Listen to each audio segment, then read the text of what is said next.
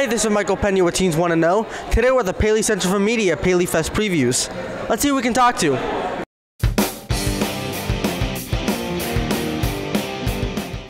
Teens Want to Know stopped by the Paley Center for Media in Beverly Hills to talk to the stars of two new shows coming up on ABC Trophy Wife and Back in the Game. Both of them deal with families and the challenges they go through, although in very different ways. Hey, we're here with Bailee Madison, who plays Hillary.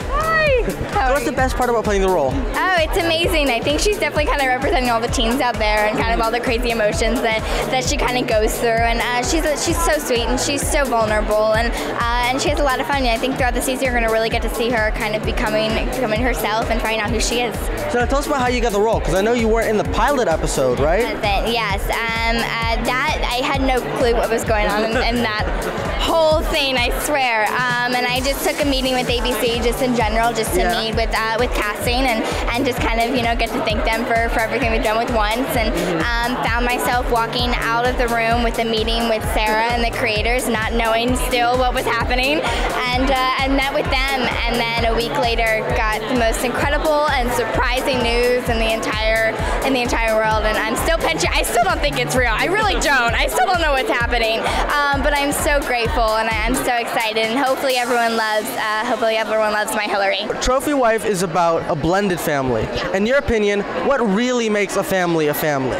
What really makes a family family? Um, just the fact that no matter what is happening, no matter how crazy, no matter how dysfunctional, no matter how different you are, the fact that everyone is pitching in to, to make the best things work for their kids and, and for their families is something that really makes family family. And at the end of the day, you know, sitting down and getting to watch a TV show uh, and, and just loving being with each other and spending time with each other, I think that's something that really is uh, really is the definition of family. So now tell us about Alex's Lemonade Stand. Um, well, basically, it's really exciting because September is actually National Childhood Cancer Awareness Month, uh, so it's a lot of fun. And for those of you who don't know, it was founded by a little girl named Alex Scott, diagnosed with neuroblastoma day before her first birthday, and at four years old started having lemonade stands to help uh, raise money and to help find a cure with the doctors. Um, and uh, it's really about no matter how old you are, you can make a difference in this world, and kind of all pitching together, having a lemonade stand, and, and kind of all joining together to find a cure. And uh, it'll be a lot of fun. So have a lemonade stand and spread the word. Trophy Wife is about a blended family. In your opinion, what makes a family a family?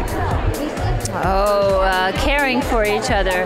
I think you can have a lot of different kinds of families, lots of altern- alternative families these Yeah. days. And so um, usually it's about kids somehow being involved, but not always, and about a lifestyle that people create where they're caring for each other and guiding each other. And um, in this particular case, there's also some bloodlines. There's marriages and uh, divorces and adoptions and a home. love. I love uh, plain and simple. I think you know, e- even if you're a a uh, even if it's your uncle, it doesn't have to be a label as your mom. If it's your uncle and you love him, it's it's obviously family. And so I think love is the answer to a family. So we're here with my buddy Albert. Tell us about your character. Well, my character is Bert. He's uh, seven years old. He's the youngest child in the family, and he's the son of uh, Pete and Jackie. And um, he's really smart and funny, and he loves animals. And pretty much like me, we're really co- uh, we have a lot in common. But the one thing different is that in real life, I'm the only child, but Bert's part of this really big family. So you're kind of a troublemaker too, like Bert then, right? Huh. Definitely. Tell us about your character. Oh, she's amazing. She's uh, well, she's ex-wife number 2 She's like sort of the opposite of ex-wife number one, played by Marcia Gay Harden, who's like a real serious, you know, um, hair splitter and taskmaster. And then my character is more um, a serious nut job. I think what makes a family a family is that sense that somebody always has your back, no matter if, if, if things got real bad, that somebody would would have your back. And um, and I think that this family, despite all their shortcomings or, or whatever it is, or all the different machinations that they are, you know, like there's step siblings and half siblings, and not even half siblings, it's all step siblings, stepmothers, stepmothers that aren't even your stepmother anymore because now there's a new stepmother. Um, what do you do with that? And it's like there's still that bond, you know, it's like a really good bond where you know they'd all take a bullet for each other. If you could step in a time machine and give one piece of advice to your teen self, what would it be? Okay, I cover your ears.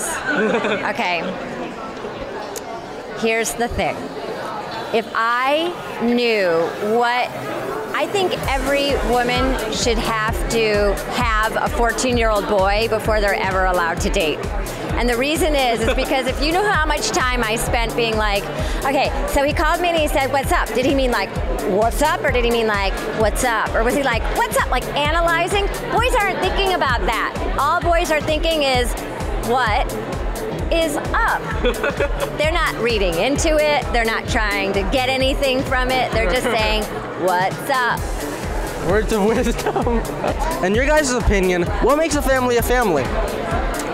That's a great question. Yeah, That's like a nice. philosophy question. I think everybody wanting the best for everybody else, everybody lo- loving everybody else. I mean, we've talked about how this is sort of a show where no one's the villain, and it's like the different ex-wives and the new wife, and they don't necessarily get along, but everyone wants the same thing, which is for the kids to be happy, for the family to function as a unit, and everybody to, you know, love each other. Well, now it's time for our time machine question. Time machine. Yeah, if you guys could travel, if you guys could travel back in time and give one piece of advice to your teen self, what would it be? Oh, that's my such a good question. I talk stuff like this all the time. Yeah. There are so many.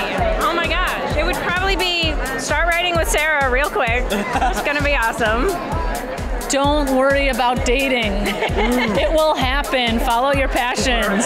Be your own person. Once you get outside of your little high school, you're going to be fine. So your family is kind of dysfunctional in the show, right? Uh, very, yes.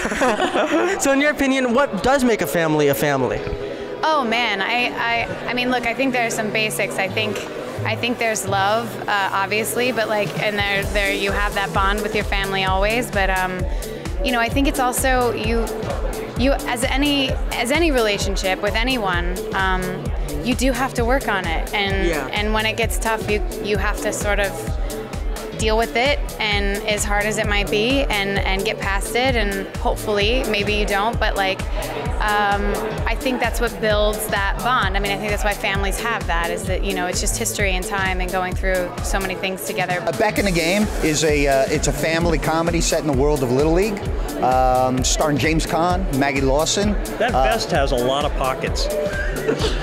If it was green, you'd be a pool table. What's the most challenging part about doing the show? Working with James Caan. Working with James Caan. He's he, well, he forgets all of his lines, and he's very mean. Imagine the most unprepared uh, human being on the planet. Then double it.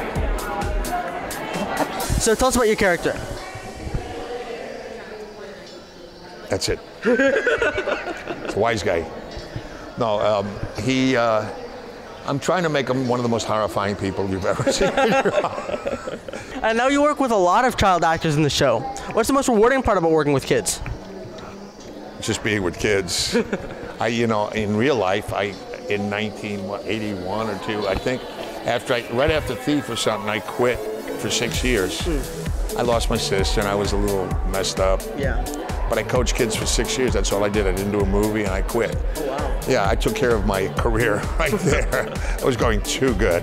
So, uh, but I enjoyed it. I had a blast. Yeah. So I have, uh, you know, the reward is immediate. You know, you don't have to wait six months for them to cut it and put music to it.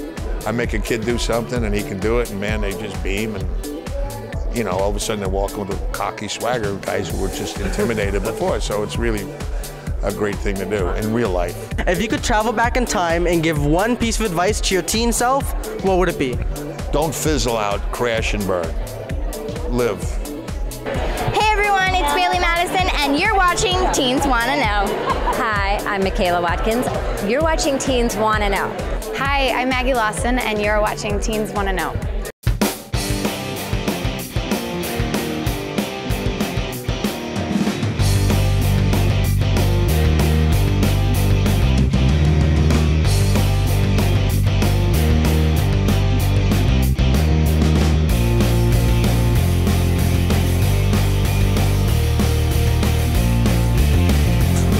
Cullen. Hi, I'm Robb Cullen. We're the executive producers of Back in the Game, ABC Wednesday 8:30. That was pretty good. That was strong. Right? That was strong. Right? You could you could make that into a package, right?